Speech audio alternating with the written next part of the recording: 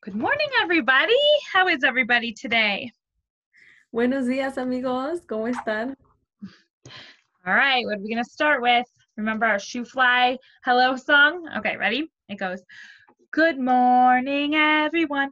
Good morning, everyone. Good morning, everyone.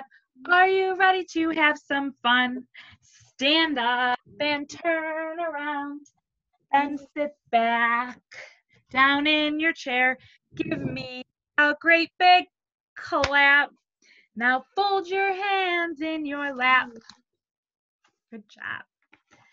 And then next, I love you ritual.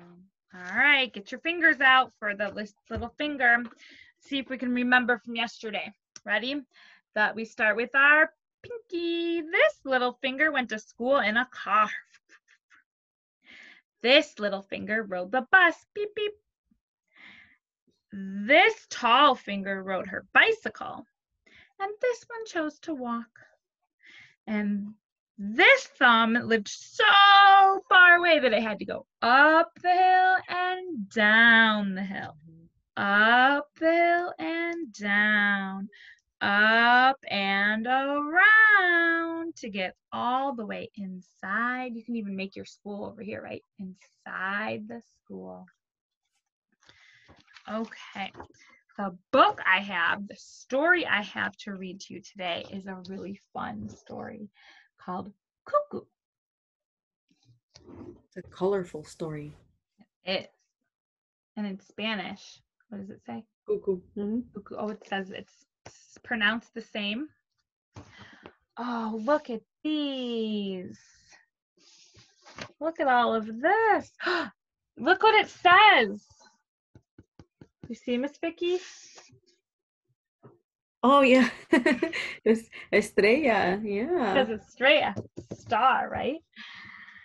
These are all little, it looks like little ornaments.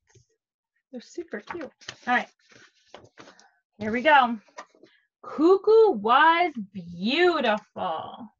The trouble was she knew it. See the bird? There's her eye and the beak. She's flying. Cuckoo's pretty, cawed one parrot. Pretty lazy, said the others. She never helps us collect seeds and she's stuck on herself.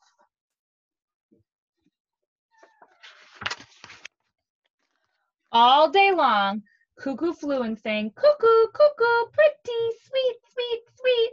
Flowers opened to her lovely song. Roosters nearby stopped crowing and dogs forgot to bark. But even the sweetest th- song can turn sour. Shoo, cuckoo, we're tired of you and your singing too, cooed the doves. Those are the doves.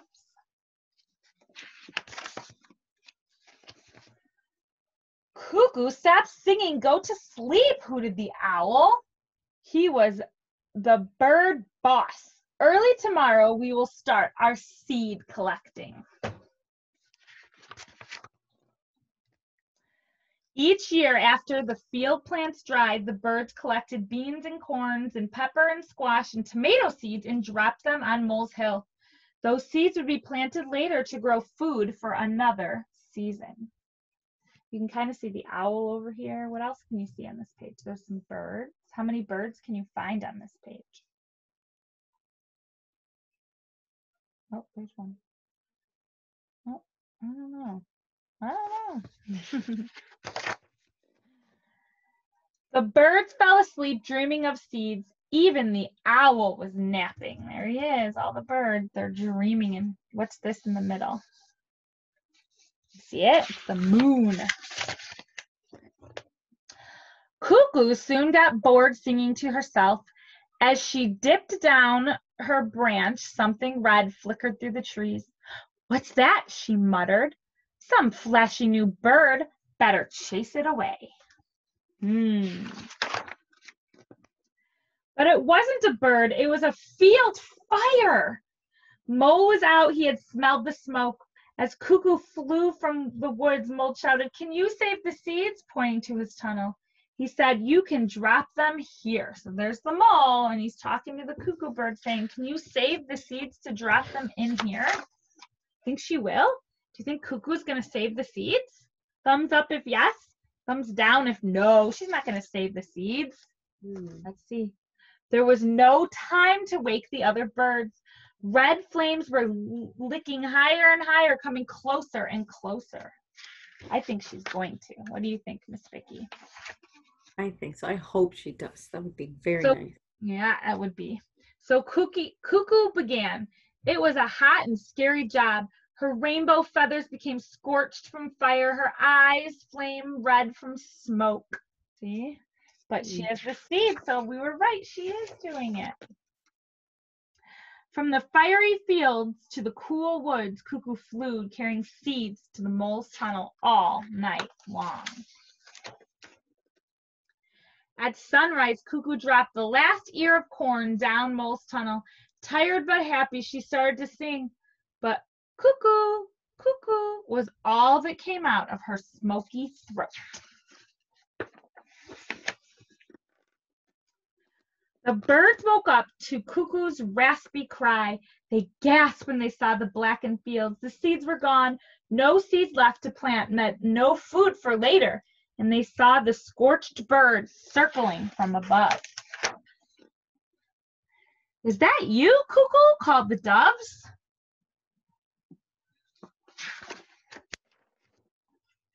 The birds waited for the cuckoo to land. When she told them that the seeds were safe, they all clapped their wings and they all agreed in the end. You can't tell much about a bird just by looking at its feathers, right? Cuckoo was a very nice bird. The end. Right? Cuckoo was a very nice bird. He saved everybody, right? He saved everybody's food, or she, right? Yeah. That is so interesting. And later on, I think we're going to cut out different shapes to make a cuckoo bird. Hmm. What, what kind of shape would you need for the nose? You could do a triangle, right? Like a beak. Look at all the shapes. What kind of what kind of shape does she have for her head and her eye? A circle. She has other shapes that they cut out. She cut out like V little mountains or V shapes for the wings. And her legs are like long ovals. We'll have to see what we can do. There are lots of shapes in that book. I know there are. We'll have to look at them in a little while, okay? We'll see you later to look at our shapes for our birds. Let's sing. See you later. See you later. See you later when we meet again. See you later.